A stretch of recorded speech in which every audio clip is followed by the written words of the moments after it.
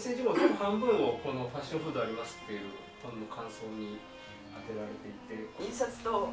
製法の限界に挑戦するかのようなこのものすごく仰天のデザインですね。サブタイトルはつけない方がむしろよくてその代わり帯でファッションフードとは何かということを挑発的な言葉で音楽や漫画などのポップカルチャーと同じ流行風俗として消費するファッションフードという現象が顕著にあります。ないなら自分で書くしかないということで非常に断片的な紹介になってしまいますけれどもいくつかのキーワードから髪型からの下り物を進行していたということから来ていると言われます。メニューは全てフランス語だったということです。フランス料理をは契約できる力がある程度ついていたんじゃないかと思います。これにデザートアソンティデザートの、えー、取り合わせがついて完成です。最高級のフランス料理のフルコースが出されていたことが分かります。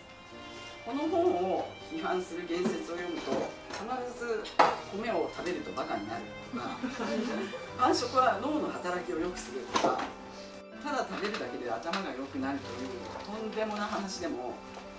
コロッと信じがちになってしまいます料理が美味しければそれでいいのではなくてそこにもっともっとこう情報としての価値を普段編集プロダクションのあの編集をされながらお忙しい方なので。ああこれは版元は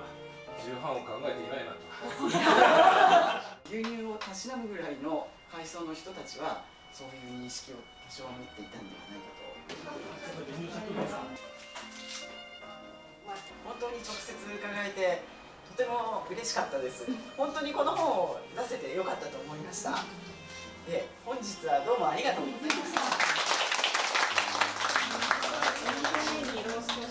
パン粉をつけてます。味は牛鍋の味になってます70年代に入ってブルガリアですね。これ大阪万博の時のブルガリアヨーグルトブルガリアヨーグルト出てきます